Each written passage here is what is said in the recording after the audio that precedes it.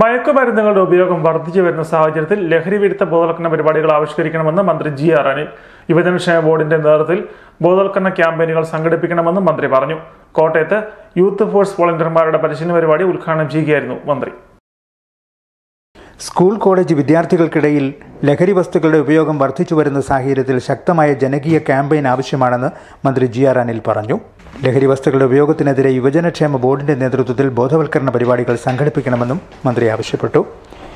യുവജനക്ഷേമ ബോർഡിന്റെ നേതൃത്വത്തിൽ കോട്ടയം വിമലഗിരി പാസ്റ്റൽ സെന്ററിൽ നടക്കുന്ന യൂത്ത് ഫോഴ്സ് വോളണ്ടിയർമാരുടെ പരിശീലന പരിപാടി ഉദ്ഘാടനം ചെയ്ത് സംസാരിക്കുകയായിരുന്നു മന്ത്രി. നമ്മുടെ സ്കൂൾ ക്യാമ്പസുകൾ പരിസരങ്ങൾ മയക്കുമരുന്നിന് അടിമപ്പെട്ട കേന്ദ്രങ്ങളായി മാറുകയാണ് വളരെ വേദനയോടുകൂടിയാണ് ഞാനിത് പരസ്യമായി പറയുന്നത്. ആ വിഷയത്തെ അഡ്രസ് ചെയ്യാൻ ആ വിഷയത്തിൽ നിന്ന് നാടിനെ രക്ഷിക്കാൻ യുവജനക്ഷേമ ബോർഡിന് എടുക്കാവുന്ന ഏറ്റവും വലിയ പ്രവർത്തനമായിരിക്കുമെന്നാണ് ഞാൻ കാണുന്നത്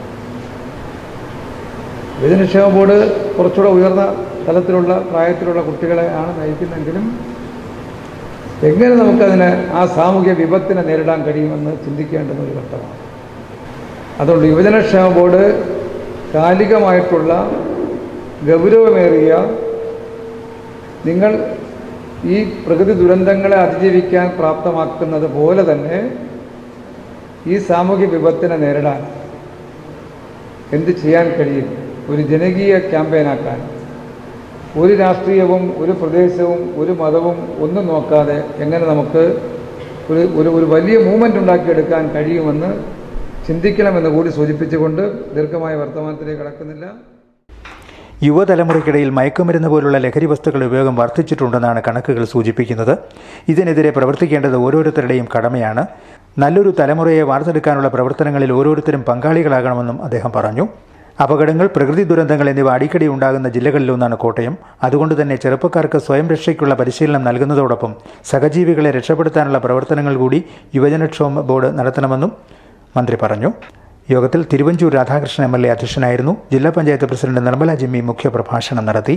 യുവജനക്ഷേമ ബോർഡ് അംഗങ്ങളായ അഡ്വക്കേറ്റ് റോണി മാത്യു സന്തോഷ് കാല ജില്ലാ youth coordinator advocate S P Sujith Kottayam നഗരസഭാംഗം Mollykutty Sebastian team Kerala ജില്ലാ ക്യാപ്റ്റൻ പി എസ് വിഘ്നേഷ് ജില്ലാ youth programme officer S. Udayakumari തുടങ്ങിയവർ പങ്കെടുത്തു.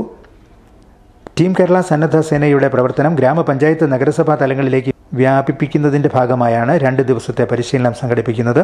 നൂറ്റി ഇരുപത്തിയഞ്ച് പേരാണ് പരിശീലനത്തിൽ പങ്കെടുക്കുന്നത്. സ്റ്റാർവിഷ് ന്യൂസ് കോട്ടയം.